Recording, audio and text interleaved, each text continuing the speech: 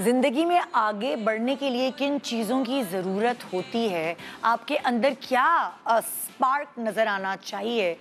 ये शायद जब तक आप प्रैक्टिकली उतरते नहीं हैं फ़ील्ड में, तब तक आपको पता नहीं चलता। हमने बहुत सारे ऐसे स्टूडेंट्स देखे हैं जो पोजीशन होल्डर्स होते हैं, मगर फिर भी वो नौकरी नौकरी की तलाश में भटक रहे होते हैं। हमारे मुल्क में कुछ है ऐसी चीज़, जबकि और दुनिया भर में आप जितने एजुकेशन में आगे होते हैं उतने ही और आगे जाते हैं स्कॉलरशिप्स और वगैरह वगैरह, बाकी चीज़ों की वजह से। लेकिन यहाँ पाकिस्तान में कामयाब होने के लिए किन चीज़ों की ज़रूरत है?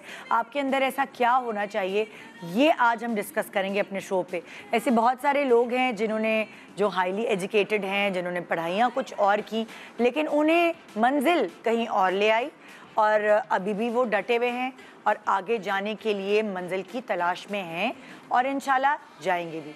मैं आपकी मुलाकात करवा रही हूँ। इस वक्त मेरे शो पे मौजूद हैं अमरीन नवीद, जो कि एक फॉर्मर टीचर हैं सोलह साल का एक्सपीरियंस है मास्टर्स इन इकोनॉमिक्स हैं। आइए आपकी मुलाकात करवाते हैं अमरीन नवीद से।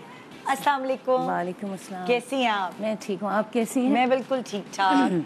और थैंक यू कि आप यहाँ आई और बहुत सारे ऐसे लोग आजकल के ज़माने में तो बड़ा डिप्रेशन में जा रहे हैं ना। हम इतने पढ़े लिखे हैं और हमें जो चाहिए ज़िंदगी में वो हमें मिला नहीं है।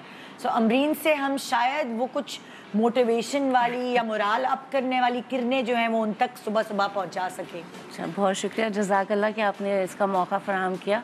आ, सिर्फ़ हिम्मत मैं हम्म। एक ये बात बोलूँगी कि आपको बा हिम्मत होना चाहिए हम्म।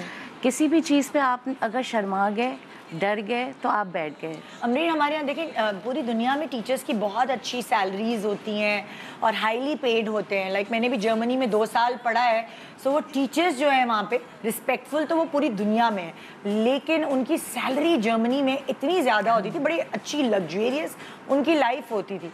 मगर मुझे बड़ा दुख होता है यहाँ पे देखकर, पाकिस्तान में, कि टीचर्स की सैलरीज बड़ी कम होती नहीं सैलरीज अच्छे ऑर्गेनाइजेशन में आपको सैलरी भी अच्छी मिलती अच्छा है। मिलती है। लास्ट मेरी पे सिक्सटी थाउज़ेंड थी अच्छा। विच इज़ नॉट बैड बहुत अच्छी थी फ्यूल कार सब अवेलेबल अच्छा। था लेकिन मेरे साथ ड्रॉबैक था कि ड्रॉबैक तो नहीं कहेंगे ज़ाहिर है मेरे पेरेंट्स को मेरी ज़रूरत थी। Okay. तो उस वक्त तो आपको काम आ, मतलब छोड़ना था। वो एक वजह थी क्विट करने की।